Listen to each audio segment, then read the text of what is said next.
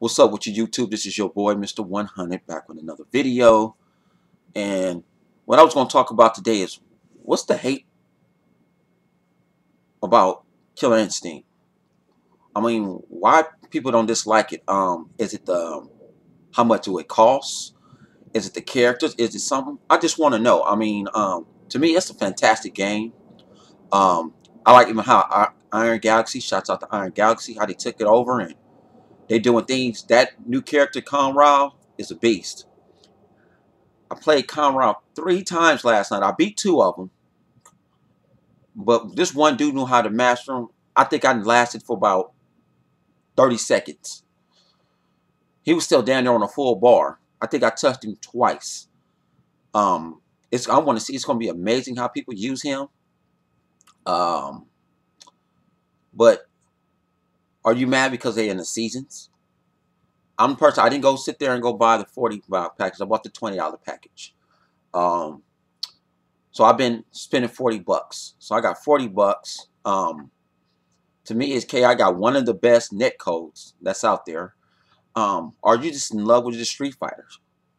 Are you uh, just a Street Fighter lover? Um, I play Street Fighter, but I haven't. I, I've been playing fighting games forever. My best fighting game that I love is um, Marvel vs. Capcom 2. I remember playing that in the arcade and then when it came on the Dreamcast. People don't understand that. It first came out on the Dreamcast. Um, man. And all the characters you can change up. Oh, have all three characters come on at the same time. But Killer Instinct got me. Um, because it's like a different gameplay. Like you can change stuff up. If you don't end nothing with an ender, you can get some of your power back. That's so crazy about it. Um, I play with Orchid.